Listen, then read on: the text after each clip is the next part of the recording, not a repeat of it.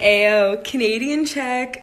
I'm from the Great White North, right? Like up above the states? Yeah. The big landmass that the rest of the world hates? Fuck yeah. we're like above that. Fucking north, I guess. The big patch of trees where everybody's bored to death. We're just chilling up here, sipping syrup, playing hockey. Before we learn to walk, we can cross-check properly. Just rocking plaid jackets. Chainsaws, we operate them right. Fucking A right we do, bud. We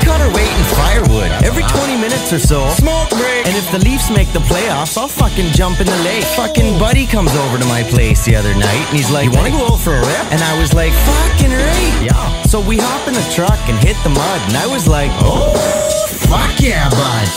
Just out for a rip, are you, bud? Just out for a rip. Just out for a rip, are you, bud? Just out for a rip.